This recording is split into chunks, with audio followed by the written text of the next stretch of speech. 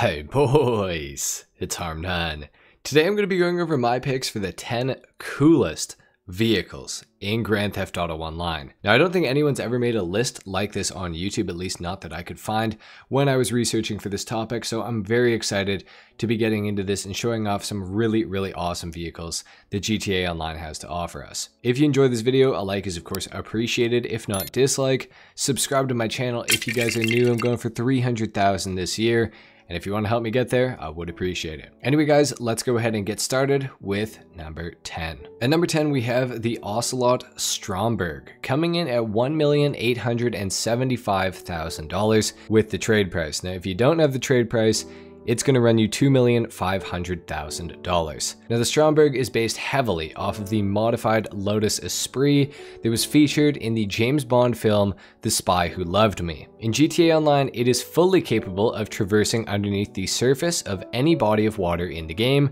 as it appeared to do in the James Bond film. It also features decently heavy armor that can absorb a fair amount of damage from enemies, quite a few explosives, and definitely a lot of small arms fire. On top of this, it also features the highest damage outputting machine guns in GTA Online, as well as some very aggressive homing missiles when it comes to the tracking. Now, unfortunately, the car isn't overly fast or notable performance wise. However, it is really hard to deny just how cool this vehicle is, and it certainly is quite unique. I really like when Rockstar takes these vehicles that were, you know, in famous films and things like that, and actually integrates them into Grand Theft Auto Online. I think it's really, really cool. I'd like to see them do it more in the future. At number nine, we have the Benefactor Bruiser. This is going to cost you $200,000 for the initial Benefactor Glendale purchase from the Benny's website or the Arena War website, and it's going to cost you $1,609,000 for the upgrade to turn the Glendale into the Bruiser. Now, the Bruiser is an insane looking vehicle, as I'm sure you can see to begin with, but you can also take it a step further with the customization that is available for it, and you can make it look absolutely insane. Now, there's a couple different styles you can go for, and depending on what you choose, uh, the insanity levels of the vehicle will go up or down. Now, it's a crazy vehicle to look at in the first place. If I didn't know this vehicle was in GTA Online and I saw someone driving it, I would be genuinely terrified. Now it's pretty fun to drive, it's good off-road, it's good on-road, and it will plow anything that gets in your way out of your way with ease. It's also surprisingly fast and you can also put a boost upgrade on it to make it even faster on top of all the other crazy customization that can be done to it. This is definitely an underrated vehicle that I don't really see anyone ever driving in GTA Online, and I think it's a really, really cool vehicle and that a lot more people should definitely have one.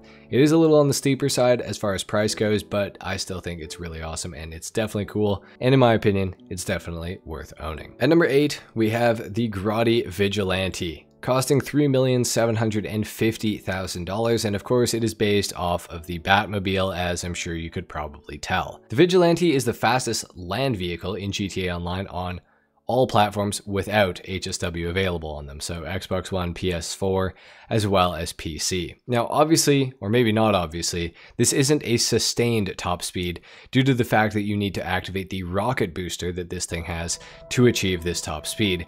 However, it can reach up to the mid 150 mile per hour range when it's at its peak boost and going as fast as possible.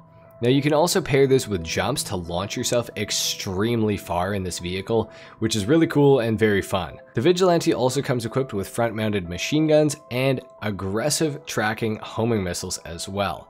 Now unfortunately, despite the vehicle's really tough looks, it has absolutely nothing in the way of explosive resistance, which is quite sad.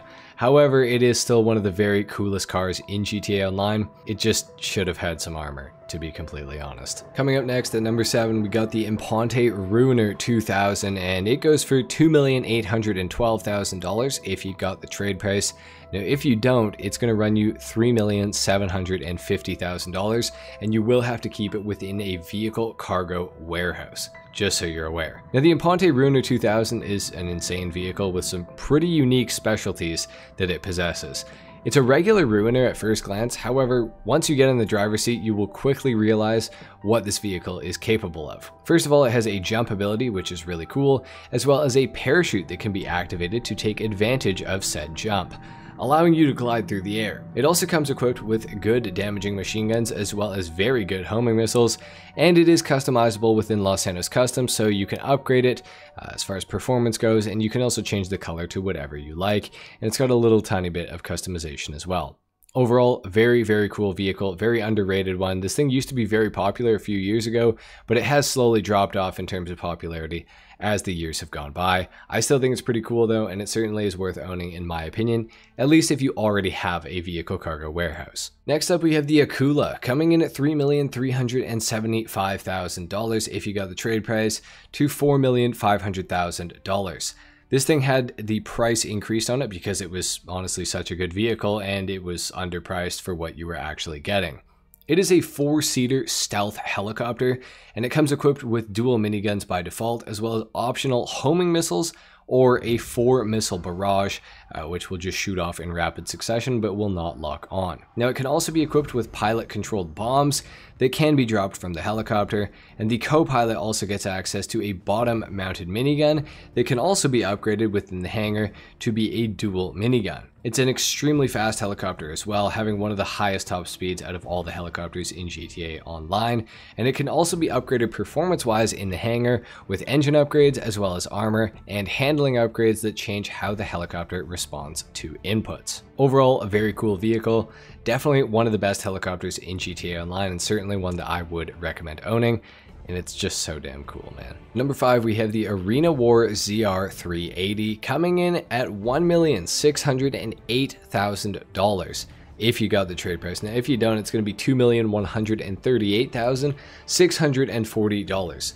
kind of an odd price. But the Arena War ZR380 is just an awesome vehicle, and it's pretty well known by the car community in GTA Online, I would say. However, if you're more of a casual fan or you're a little bit newer to GTA Online, you probably won't have seen it. Now, the ZR380 has some pretty insane customization and gadgets that it can be fitted with, like the saw blades that will insta-kill other players or NPCs if they touch them and sometimes even you if you run a little bit too close to the vehicle without pressing the enter vehicle key. Now it can also be fitted with front mounted guns as well as a variety of mines that it can drop, like spikes that will take out players or NPCs tires if they don't have bulletproof, shock mines, EMP mines, and many, many more. This thing is armed to the teeth, and with the booster on it, you can achieve some pretty crazy straight line speeds.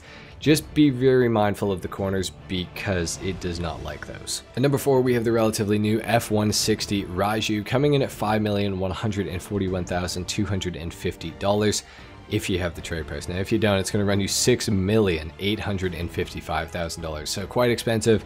However, you are getting a very, very good vehicle, largely regarded as one of the very best vehicles in all of GTA Online. This thing is a modern stealth fighter jet with homing missiles, dual explosive guns, vertical takeoff and land, which is very, very helpful and useful, by the way and of course a stealth mode which can be toggled on and off. Now when you're in stealth mode, the plane loses all ability to discharge weapons or anything like that. However, when stealth mode is off, which it can be very quickly turned off, uh, all the weapon systems will come back online. Now the plane's engines, armor, and even handling can be upgraded within the hangar workshop, allowing the player to fine-tune the jet's handling to how they like, as well as making it faster with engine upgrades and more resistant to general damage with those armor upgrades. This thing's the fastest plane in GTA Online as far as acceleration goes, and it does have a pretty darn good top speed as well.